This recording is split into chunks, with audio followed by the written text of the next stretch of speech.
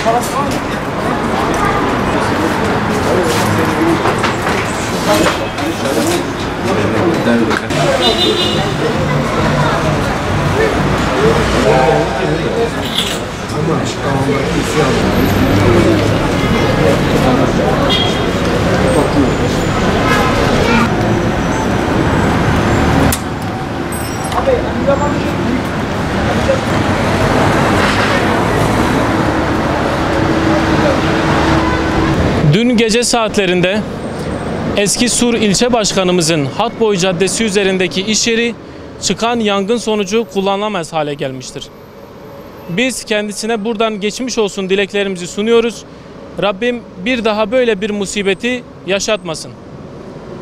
Tabi yapılan ilk araştırmalara göre çıkan yangının kundaklama sonucu çıktığına dair kuvvetli şüpheler vardır.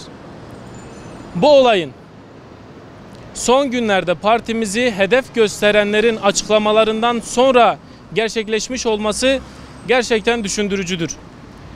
Bu olayın ciddi ve titiz bir şekilde araştırılması, aydınlatılması toplumsal huzur için gerekli bir adımdır.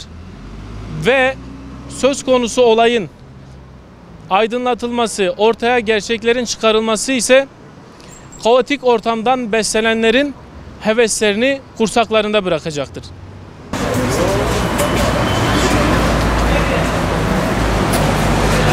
Bu yukarılar zaten sıcaktı değil mi? Bunlar önceden boyalıydı, biraz daha pisli oldu. Yani dükkanın bu diğer malzemeler de büyük ihtimalle